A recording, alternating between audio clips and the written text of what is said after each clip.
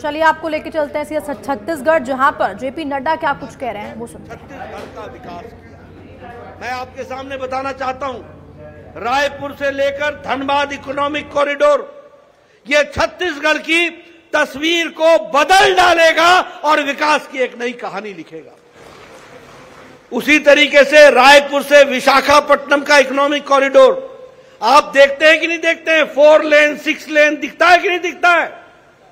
दिखता है कि नहीं दिखता है? सड़कें दिखती है कि नहीं दिखती हैं?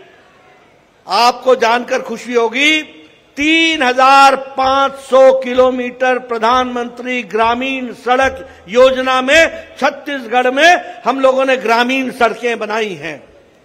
और 3,300 हमने नेशनल हाईवे बनाया है छत्तीसगढ़ में ये हमने काम करके दिया है।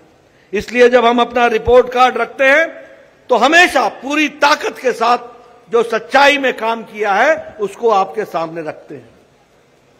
जब मैं विनोद की बात करता हूँ, विनोद खांडेकर जी की, बताइए, ये सभ्य आदमी है कि नहीं है? बताइए, ये लोगों की सेवा करते हैं कि नहीं करते? हैं बताइए, इन्होंने आपकी सेवा की है कि नहीं की है? बताइए, ये भ्रष्टाचार के खिलाफ लड़ते हैं कि नहीं लड़ते हैं?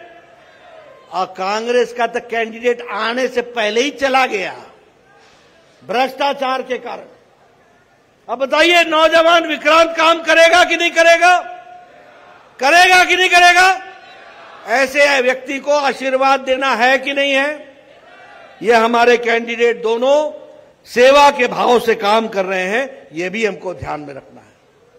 मैं एक निवेदन आपसे करना चाहता हूँ कि आप याद करो बहनें खास करके याद करें।